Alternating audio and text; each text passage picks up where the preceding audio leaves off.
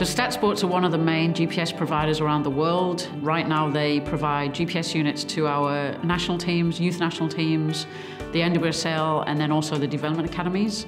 For the women's national team has been that the NWSL have, have worn uh, the units for, for the last few years. And for us with the national team, that means that pretty much we're tracking our players every stage of the year because we have access to the data when they're with the NWSL clubs and we also obviously have access with the to the data when they come in with us at the national team. So we can make sure on a, on a week-to-week -week basis the players are being developed optimally without being pushed towards fatigue, injury risk and so on. So it just means for the players it's, it's just a more streamlined preparation to maximise their output and also minimise injury risk and ultimately maximise their availability to play because again if you maximise player availability you're going to get your best players on the field and there's a great chance of success.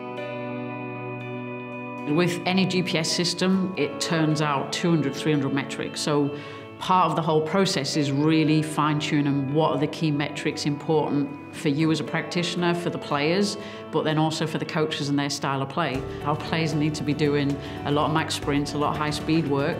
So right now, some of the key focus is the amount of high speed running players are doing, number of max sprints, the ability to repeat those sprints with minimal recovery. We know in a game how much high speed running or high intensity work we want a player to do, okay, can we then design a training program so the players are hitting that in their training so that they're over prepared for anything they might have to face in a game.